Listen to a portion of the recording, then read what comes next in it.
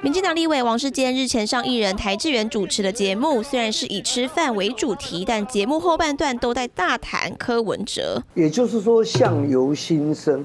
那我发现柯文哲在进剧前后，他有留一段影片，跟比照他过去，其实你已经可以看出他的内心，他的焦躁不安，以及我觉得他心里。有内疚。从柯文哲、民众党到高空弹跳，王世娟对整体事件也是有感而发。而且隔壁他这一次用的哦，这种脱罪理由，我觉得讲不过去了。他是说哦，他对都市更新、对建筑他不懂，很多市长哦，财务也不懂，教育也不懂，交通也不懂，环保也不懂。市长这么好当吗？你什么都不懂。什么都不是专业，那你什么都不用负责任吗？有好几段王世坚说到最后渐渐被消音，就网友说第一次有来宾访谈被逼掉好多段，好想听无消音版。而近期进化成容积率闹得沸沸扬扬，更烧到台北中山著名的景星大楼。